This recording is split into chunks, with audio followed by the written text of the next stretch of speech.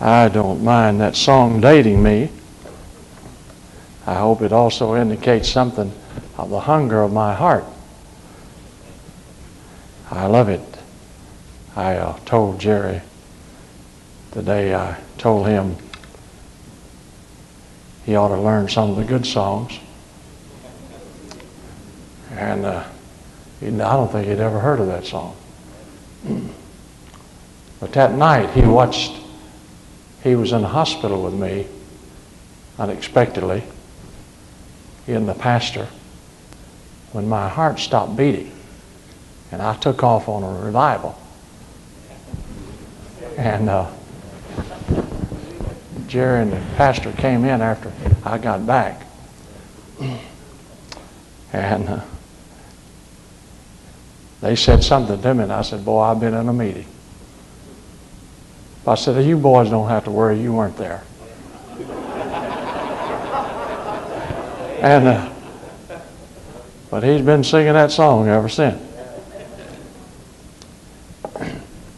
I'll tell you, uh, most of you know that I'm on dialysis three times a week. And um, these meetings that I'll take like this will be very, very, very rare. I'm going to take uh, meetings on Sunday, and I'm having a struggle learning how to trust God to do as much on Sunday as I want Him to do. Because that's just one shot at people, two shots. And that's a pretty tough job.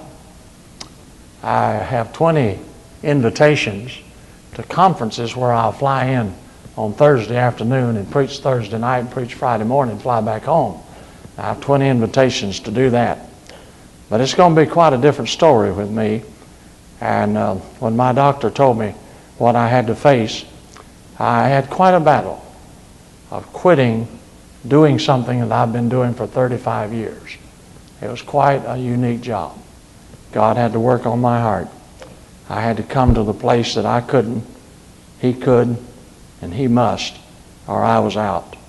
And um, but I'm excited tonight. I really am, as I've ever been in my life. Amen. I really am. About three weeks ago, uh, the Lord started talking to me about some things up the road. And boy, I got excited. so uh, I'm looking forward to what the Lord's going to do. Occasionally, when I come across some meeting like this that I really feel I need to be in, uh, the people transfer the dialysis equipment and all that stuff to wherever I'm going to be, and we just do it on the road. I won't be here in the morning. I'll be getting a dialysis. But don't you worry, I'll be having myself a time. Amen. I don't feel it. And I usually have three hours when I can just, whatever God wants to do, we just have a time. And so uh, I'll be down in Hammond doing that uh, in the morning, but I'll be back tomorrow night and for the last service. I'll tell you, tonight, the Lord has pulled a good one on me. Uh, he really has. He, he has put on my heart a message that I guess I have been preaching at Milldale for at least 20 years. And many of you have heard it. But God's impressed me that you needed it again. And uh, you, you'll find out after I get started. Because it's centered around an illustration where God morally changed my life. Now, what I mean by that is this. When I believe when a person responds to God properly, their life is morally changed. Now, I do not necessarily mean their morality is changed, yet I do mean that. But I mean by the, using the word morally, I mean their whole disposition is changed, never to be the same again. And tonight, I'm going to bring a message, and it, they're in out of, the, out of this message is a illustration that happened to me And when it happened, my life has never been the same since that day. And I feel like a great deal of what God is doing right in my life today, and especially in the last uh, nine months, which includes eight months out of the ministry, if you want to say I was out of the ministry, uh, where I could not preach officially in pulpits. Uh, God, all of that time, relates right back to this story tonight. Now, not, most of you know that I uh, am a great preacher. I mean, I'm not a great preacher, but I preach a great deal on faith. Now, I had a man to tell me one time, in fact, Brother Jimmy Robinson's father, he said you could listen to a preacher preach and find out his problems. And so uh, I, I think that he had me nail quickly, plainly, that I've had a great deal of problems with faith. And God wanted to build this message in me. And um, so I spend a lot of time on it. and I spend a lot of time dealing with it. And tonight I want to deal with faith, but I'm not going to use the word faith. Now I'm going to deal with another word I'm not going to use too much. It's the word obedience. Now when you have faith, it's like a coin. One side says faith, the other side says obedience. One side said obedience, the other side says faith. There is no such thing as passive faith. There's no such thing. Now, there is passive belief. Now, some people would call belief faith. Now, I wouldn't. And I realize that we preachers contradict each other a lot of times, not in meaning, but strictly in our uh, words that we use. We contradict each other. I got up and preached on faith one night, and uh, Jerry Falwell didn't hear me preach. And he came right up to, I mean, the first statement out of his mouth, he said, There's a passive faith. Well, after the service, me and him had a set to.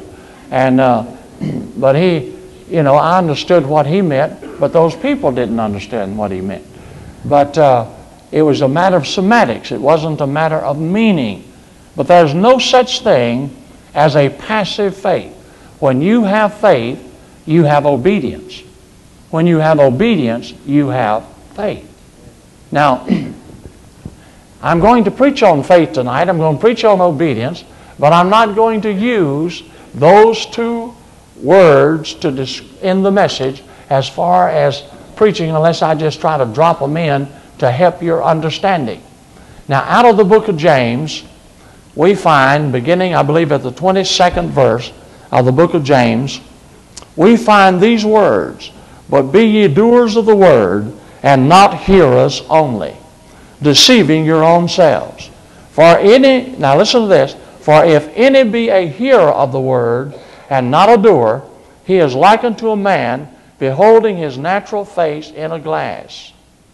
For he beholdeth himself and goeth his way, and straightway forgetteth what manner of man he was.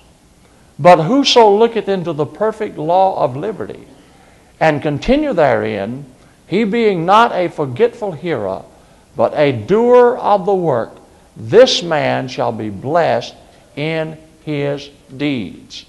Now, there's another passage that I want to give to you out of Matthew 7. Now, I don't know about you, but I have known Matthew 7 from the time I was too young to remember. Now, you may remember it like I do. Back when I was a little boy in Sunday school and church, they taught me this passage of Scripture. But I never knew it had such meaning. And possibly you used to sing this when you were a child about building your house up on a rock. And the winds would come and blow and the house would stand. And the building the house up on the sand and the winds would come and the, well, the wind would come and the house would fall flat and you'd clap your hands. I remember singing that as a little child.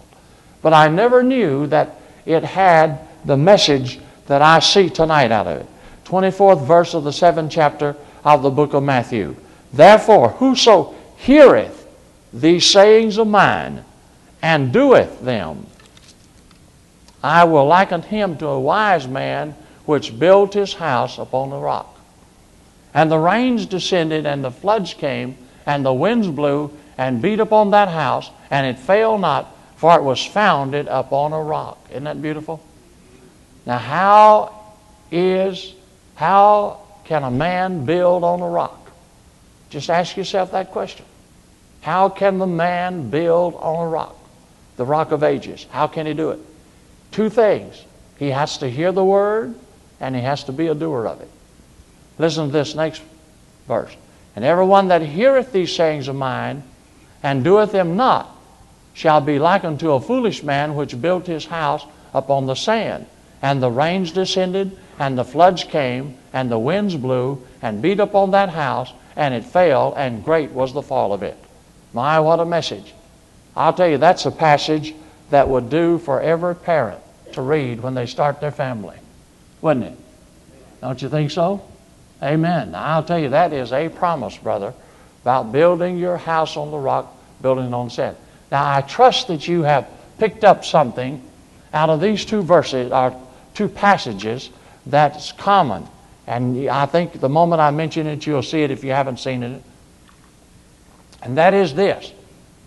In both passages, people hear the Word. They hear the Word. Now, I'll tell you, a lot of times preachers preach and we do not hear the Word. Sometimes it's because they don't preach the Word, but sometimes they preach the Word and we do not hear the Word. And definitely there's a mystical attitude, a mystical thought here of hearing the Word.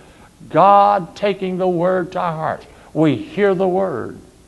And not only do we hear the Word, but when we hear the Word, there's one more thing we've got to do with it, and that is we have got to be a doer of that word. We've got to be a doer of the word.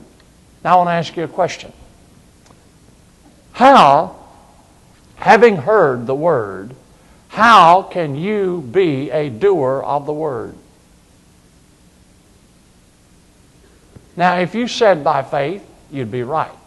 But faith is such a theological word that when you say faith, it's almost like saying love. A person's mind goes 15,000 different directions. That's right. Amen. You know, we don't even know what it means anymore. So, how can you be a doer of the word? If you said by faith, you'd be right. But it seems that when you say that, people just do not get what you're saying. Or if you said, well, how can you be a doer of the word? By obedience. Now that has a little more meaning to me that I can pick up some movement in it. And I can pick up something that's nearer to me than even the word faith. Now, obedience. But that is a theological word that, that we just seem to get lost in the meaning of it. How can you be a doer of the word? Now remember this in the context that you have heard. How can you be a doer of the Word of God? Now, if you take this statement out of the context in which I have placed it, uh, you will be misrepresenting me, you will miss the message, and you will not know the meaning of what I'm talking about. But in the context that you have heard the word, how can you be a doer of the word?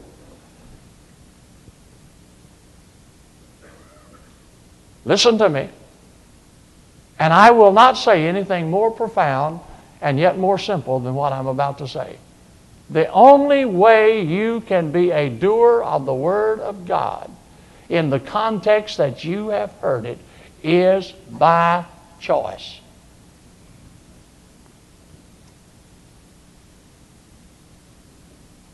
Amen. You didn't say amen, you don't understand it? Oh, what's the matter? Is it too simple?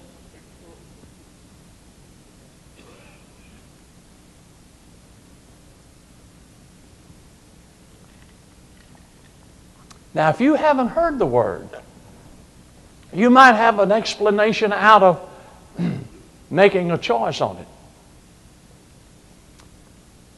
But he says, having heard the word, be a doer of the word. And the only way you can do it is by choice.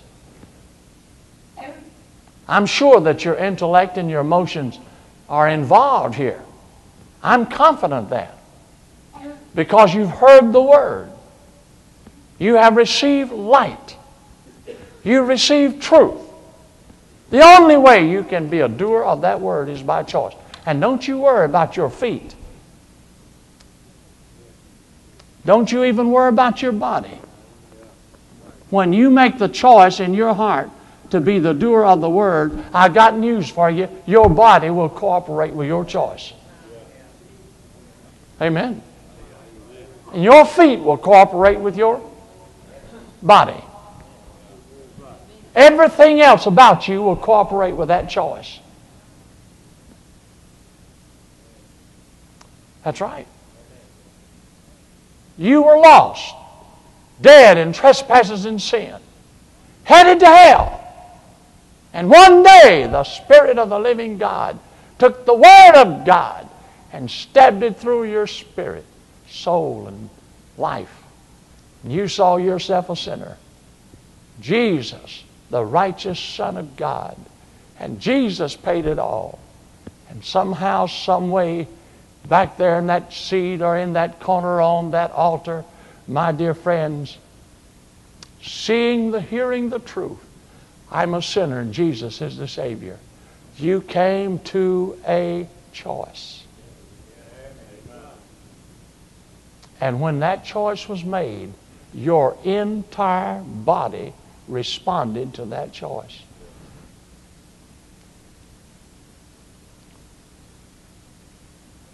Yes, sir. Yes, sir. That choice is not made on the basis of plain intellectualism or emotionalism. That choice is made on the basis of God speaking the truth to your heart. That's saying the same identical thing if you said to a man, believe on the Lord Jesus Christ when he's convicted he's a sinner. Believe on the Lord Jesus Christ. It's saying the same thing. If you obey the Lord, He's speaking to you tonight, obey it. How do you obey it? How do you believe? How do you, are you become? How do you become a doer of the Word of God?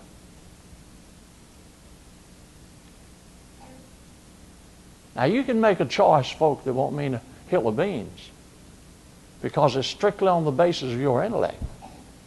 You can make a choice strictly on the basis of your emotion. Won't mean a thing. But when you have received the truth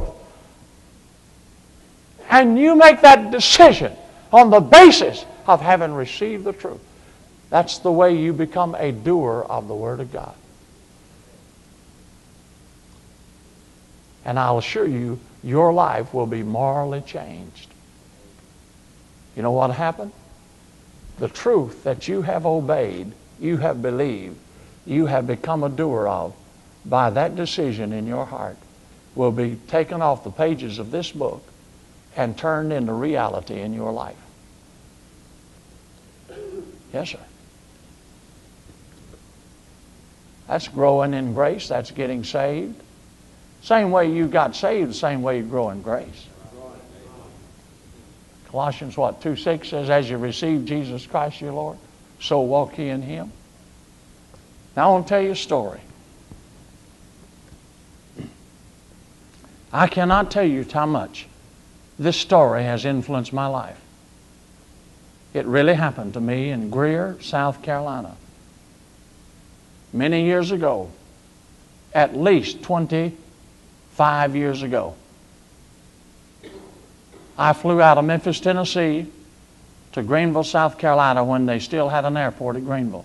They have one now between Greenville and Spartanburg. I flew up there. My friend Curtis McCarley met me, took me out to his house. Saturday afternoon.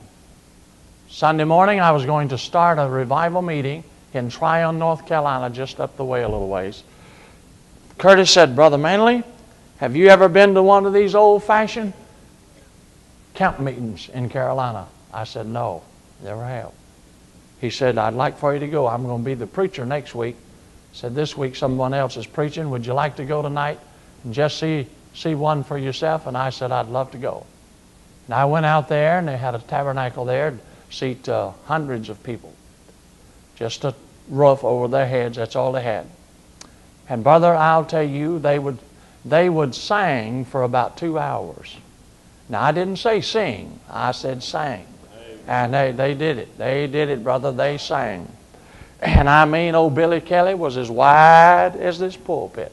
And he was leading it all. I mean, they, they would get with it. And they would sing. And they would shout. And they would do all kinds of things that I didn't bother me too much, but uh, I'd been used to a little shouting. and I mean, they'd get with it. And um, I watched that crowd. In fact, there was one of those men that had a baby on his hip. And that man would run down the aisles, passing the poles that kept the t- tabernacle up, and run up on the piano with that baby on his hip. Run across the top of the piano, run across the choir rail. This is a two by six up here, and that was a two by four. I looked at it. And he ran across that choir rail on that two by four, came down the other side, the organ, right down the out, right up the, I mean, just shouting. I'd never seen nothing like that now. But I mean, he shouted. there was another one. I'm just telling you about three. This went on for about two hours. There was another one that would run up and down the aisles, and they had not uh, sawdust, but shavings. Shavings, you know, on the ground. And this fellow would get down on the ground and pick a handful of shavings up and throw them up in the air. Just let them come down and shout. then there's one more I'm going to tell you about. He would run up to those posts in that tabernacle and, uh, I mean, just scoot right up them. And get up there and just shout and then scoot right down them. You said, now, Brother Manley, uh, I don't care for stuff like that. I don't know that I asked you for an opinion. Did I? If you were like me, you'd been sitting there saying, Oh God, I don't want to have an opinion unless you put something like that on me. I don't. Amen. I tried to keep myself to myself. I guarantee you. I was afraid God might make me do something like that. Amen. So I was sitting there quiet as a mouse. My brother Curtis McCarley, who's now in glory, probably shouting over all this tonight. He just, he just say, "Amen, Amen." You know, he, and I'll tell you, I was just, I wouldn't even say Amen. I just, I just watch it. They shouted and they shouted and they shouted. They had a good time. Now I have preached in those camp meetings in days since those days. And I'm too much of a prophet for a camp meeting. Because they tell you they come down there to shout. And I usually preach a shout out of people and not in them. And, I, and I, I'm not a camp meeting preacher. They just won't have me often. But I've been in most of those big camp meetings in the Carolinas. And oh my, they're precious. But you've got to be, you've got to know that they come down there to have a good time and just shout about. But I'll guarantee they won't have any trouble with Pentecostals up there in that part. They scare a Pentecostal half to death. I guarantee. And they didn't have any problem with them for years. And I'm not making fun of them, folks. I mean, them, them old timers knew how to shout. Well, it came time for the offering. And when they started taking that offering, I want you to know there was not a peep, much less a shout. I mean, no one said anything but the man in the pulpit. And here's the way he started it. And I'm not making fun of him tonight, but this is the way it was funny. But I didn't laugh. I guarantee you I wasn't about to do anything. And uh, he said, Who'll give a hundred? Who'll give a hundred? Who'll give a hundred? I thought I was at an auction. And then he dropped down, Who'll give 75? Who'll give 75? Who'll give 75? Down to 50, down to 50, who'll give 50? And they'd stand up and say, I'll give so and so. And when they'd get that few, they'd go down to 25, got down to 10. Well, I was sitting there and I, I didn't consider myself too spiritual. But I was spiritual enough to know that when God had made me a part of a meeting, I had an obligation not to give to that meeting, but to obey God. So I was sitting there. I had eight dollars in my pocket. The story's coming back to some of you, isn't it? You want to get up and run now before God gets hold of you? I had eight dollars in my pocket. I had eight dollars sitting there, and I, I, uh, I knew to ask God what to do, but I, I, I did it like this. I said, God, I got eight bucks. I'll give you the three, and I'll keep the five. I didn't let God tell me what to do. I didn't give him a chance to tell me what to do. I offered him the three, and I'd keep the five. And here's the reason. That day, when uh, I think I packed that Martha, and I forgot my shaving kit, and I had no shaving equipment. And I had no checkbooks, no credit cards, and I knew I had to have a good fresh shave, and my teeth had to be brushed the next morning before I could go to that revival meeting. And I knew I had to have some equipment. So I just offered God the three that was a logical thing to do, and I'd keep the five. But I didn't give God a chance to tell me what to do. I just told him what I was going to do. Well, when he didn't say anything to me, he got silent. I knew it was my next move. When God gets silent, folk, it means you're headed in the wrong direction. You're out of distance. So I backed up and I said, Well, Lord, I will give you the five, and I will keep the three. And I didn't give him a chance to say anything. I didn't. I had settled it. Well, I was watching him beg those people for that money, and I was so embarrassed, I made a statement like this. I said, I wish to God I could get up and tell these people how to have a faith offering. Now, what did I mean by that? I meant, my dear friends, that each individual simply ask God what to do and let God tell them what to do. And then they do it. That's a faith offering. I can't stand these preachers who shut you up to an offering that doesn't have God in it. I never take an offering. I always let God take it. But I'll tell you what, I learned it this night, I'm telling you about. In case I ever take an offering, it falls flat on his face. But God never misses.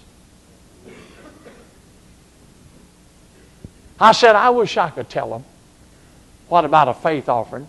You know how things that you can say in a second and things that happen in a second have happened so fast you don't know how it happened. I said that. And about that time, Billy Kelly said, We have a Bristol evangelist here tonight uh, from Mississippi. I was living in Mississippi at that time. He said, I'm going to ask him to come up here and thank God for this offering.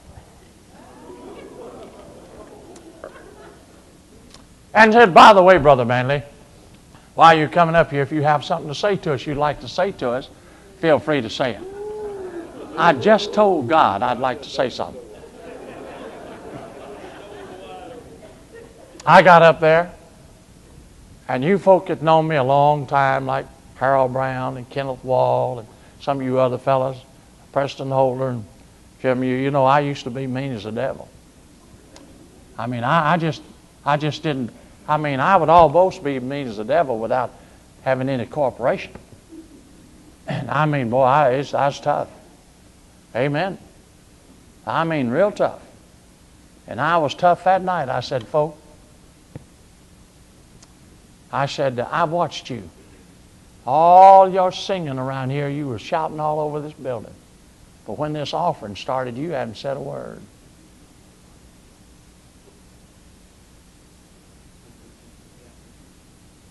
And I said, You either are ignorant of the things of God, or you're just a bunch of hypocrites.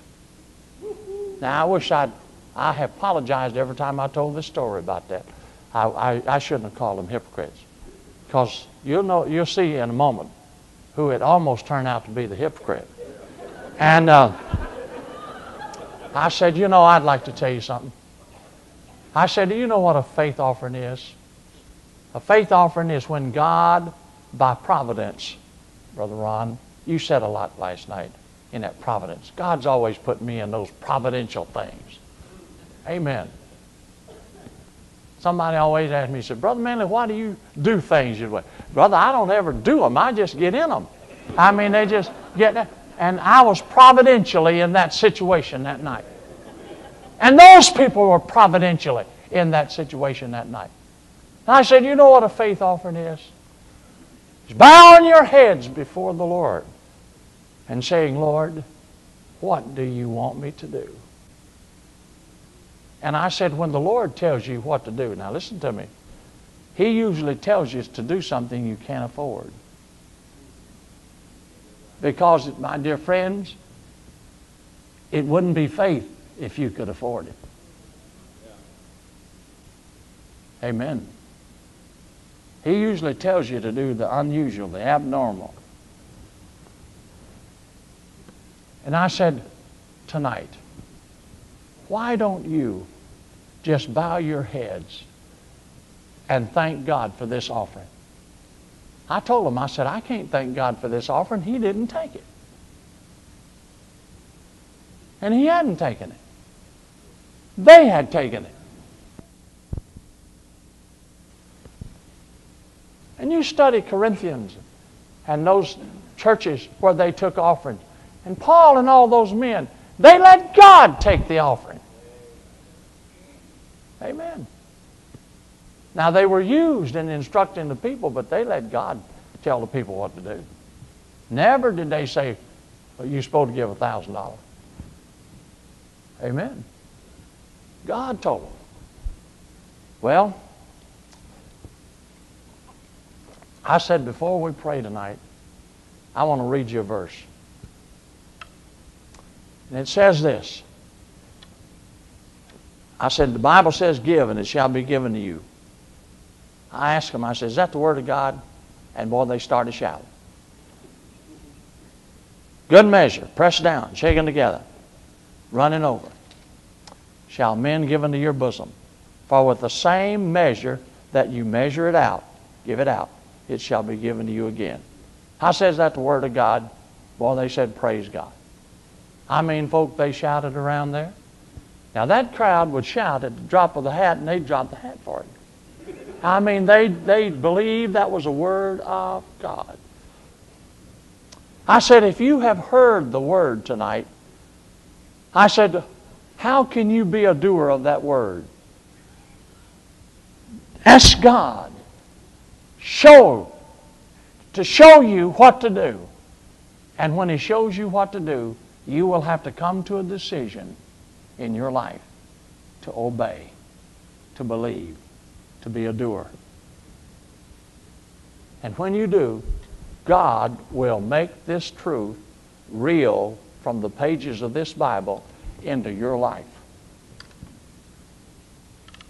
I said, let's pray. And brother and sister, we started praying. Got through praying. And I said, if God has spoken to you, not me, but God, if God has let you hear and you've heard, He's spoken to you, you obey Him. And here, those saints begin to come down the aisles, bringing their offering to the plates. And I'm going to tell you, folk, it was glory. And I was standing there really rejoicing because they were giving. I mean, they were giving according to the direction of the Lord. and the power of hell had been broken.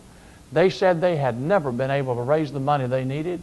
And from that day to the last time I checked, and that camp is still going on, they had never had another financial problem because they simply learned how to let God take an offering.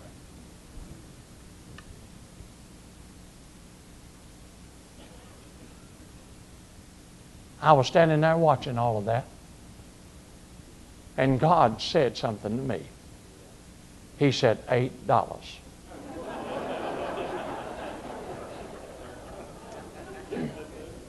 I said, Lord, I've got to have a razor and a toothbrush. I argued with God. I even told him I could borrow a razor, but I couldn't borrow a toothbrush. I did everything I could to get out of obeying. But finally, folk, God simply said to me, said, now, who's the hypocrite? You've heard. Now will you obey? Will you do? Will you believe? And when I got to the place of obeying, becoming a doer of the word, believing the word, you know what my hand did? My hand reached in my pocket. When I made that decision, my hand reached in that pocket and got all that money. And I walked over and just dropped it in. Amen.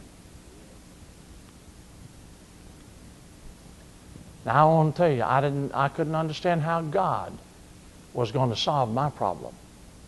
But that wasn't my business. My business was to obey him, to believe him, to trust him. And before I could get out from under that tabernacle that night, a man walked up to me and said, Preacher, I hope you won't think I'm stupid. But he said, God told me tonight that you needed some shaving equipment. And said, This afternoon I bought a kit with everything a man would ever want in it. Said, Would you mind taking it? And I saw God, folks, get up off of the pages of this book and become a living reality in my life. And you may not believe it, but I have never been the same since that day. I have told this story, and I can name you at least three writers that's written books that have started with this story. They didn't tell it in there, but I guarantee you if you'd go and ask them, they'd say, I got this when I heard Brother Manley tell that story. Some of them have had their whole ministries centered around preaching on giving. And the books have been bestsellers. And it's been amazing to me how God has used it. But I, my life has never been the same since that day. I, I learned that, friend, when God speaks, you can become a doer of the word. And when you do it, God presses it down shakes it together, runs it over, and causes men to turn around and give unto your bosom. God keeps His word. Amen. I mean, He does it. He does it. He'll do it every single solitary time. When I got to the room that night, I stayed with the McCarleys. When I got to the room, I did not realize, but some, for some reason, I uh, looked in my pockets, and I just realized that I, in my, this suit was given to me the other day because I didn't have a suit to preach in because I've lost so much weight. I weigh the total amount of 142 pounds. I mean, I'm a big fella. Most of you knew me when I was 219 pounds and wore a much bigger suit. This is size 42. I used to wear 44. And everything, and Martha and I went and got a couple of sport coats the other day so I'd have something to wear down here. And every one of the pockets are sewed up on it. Bless God, I'm going to undo them tonight but I, before I get come back tomorrow night.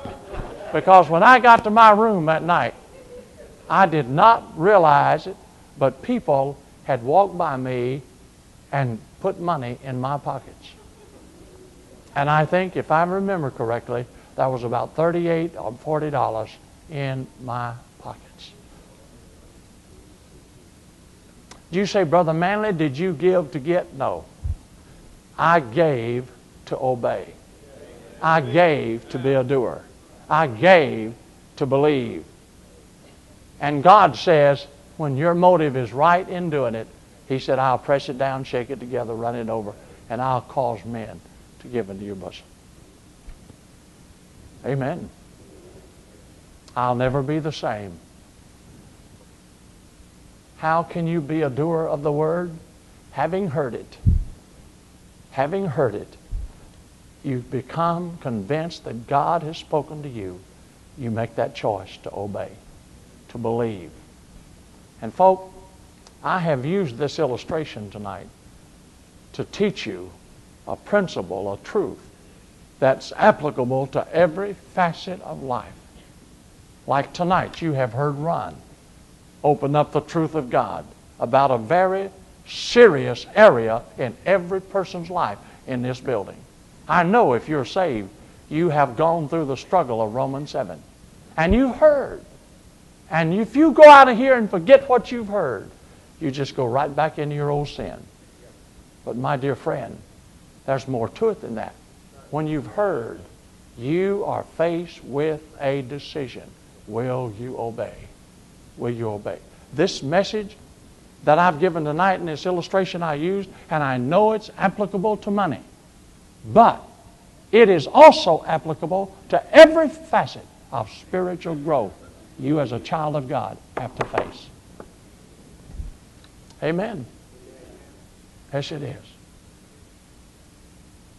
So I trust tonight that God will use this message again as it has been used many, many, many times. Right here.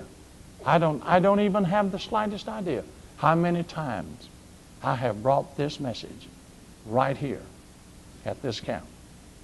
But I never remember when God did not use it to change lives forever. Yes, sir. I trust tonight that you will be a doer of the word and not a hearer only. For if you're a hearer only, you build your house on the sand. And the storms are coming one day, friend. Don't tell me the storms are not coming. I just waded through one. Amen. Some people say, How do you do it, preacher? I crawl up in the cliff of the rock and wait till the storm passes by to come out. And, folk, let me tell you something. The house did not fall.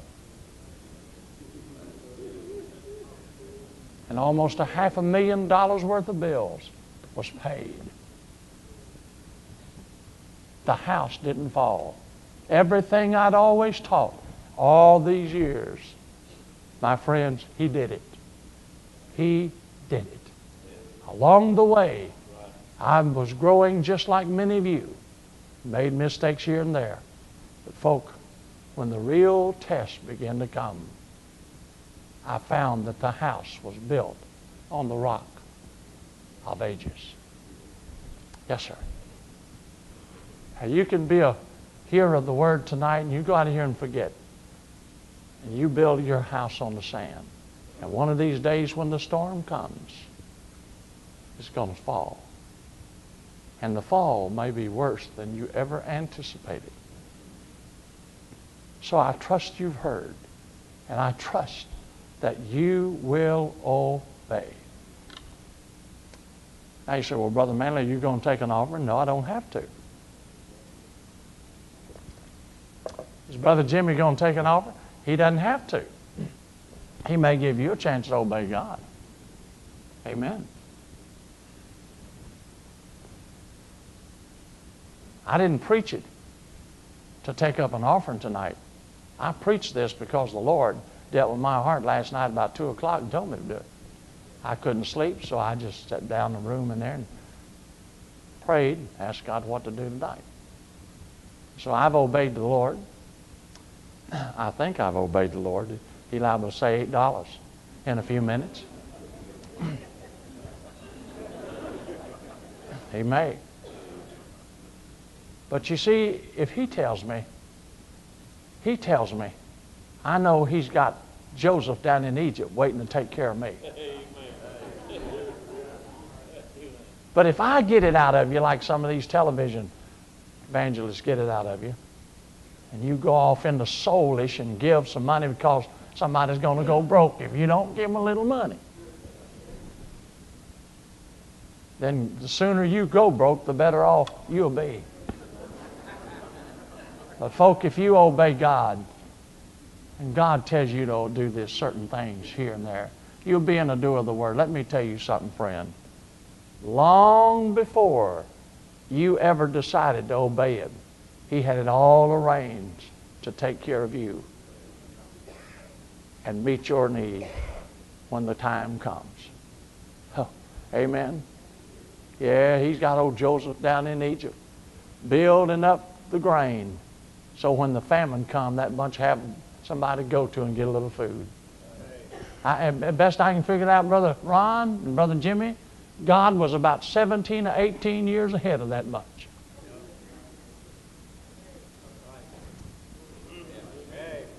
And I figure he's about 17 or 18 years ahead of you and me. Don't you?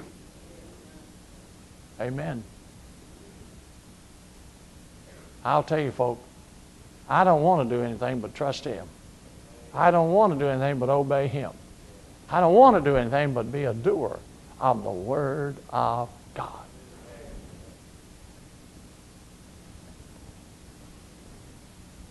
Well, I've said enough. I'm through.